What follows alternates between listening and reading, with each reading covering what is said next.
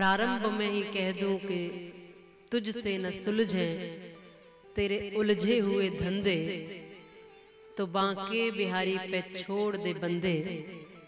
वही तेरी मुश्किल आसान करेंगे और जो तू न कर सका, वो तेरे घनश्याम करेंगे।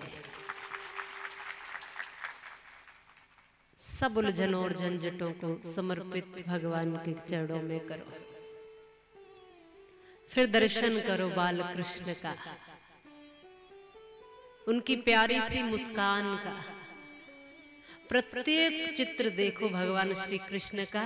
एक ही बात सिखा रहा है कि सदैव मुस्कुराते रहो प्रसन्न रहो आनंदित रहो।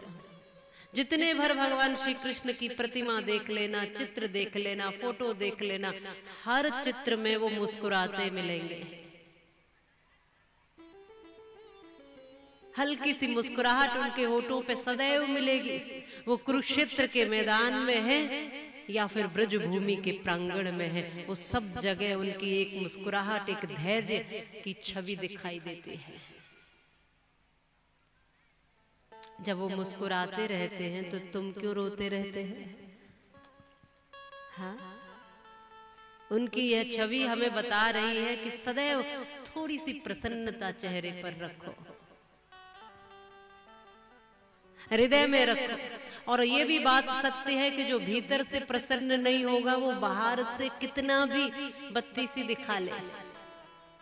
वो थोड़ी देर की ही हो सकती है। वो सदैव नहीं रह सकती। भगवान श्री कृष्ण की प्रतिमा को देखकर उनके चित्र को देखकर उनकी आकृति को देखकर ये निश्चित कहा जा सकता है कि ये सदैव आनंद में रहते हैं इसलिए इनको परमानंद कहते हैं।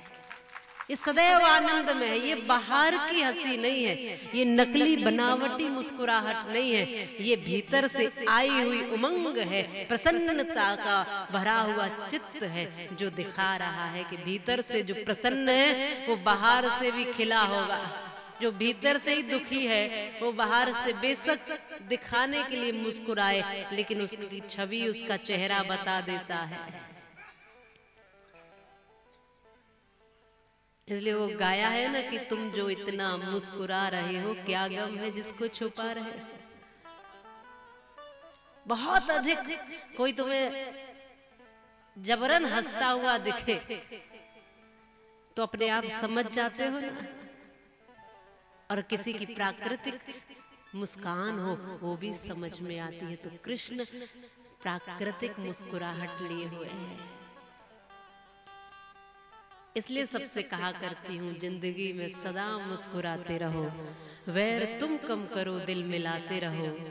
रात काली सही कोई गम न करो बहुत मुश्किलें सही आँख नम न करो एक सितारा बनो जगमगाते रहो ज़िंदगी में सदा मुस्कुराते रहो।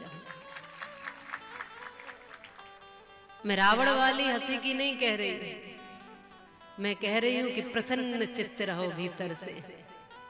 धैर्यपूर्ण जीवन जियो। श्री कृष्ण का दर्शन करने मात्र से प्रसन्न हो जाता है। क्यों दौड़ दौड़ कर भगवान की छवि को देखने उनकी प्रतिमा का दर्शन करने जाते हो? क्योंकि उनको देखने मात्र से आनंद मिल जाता है।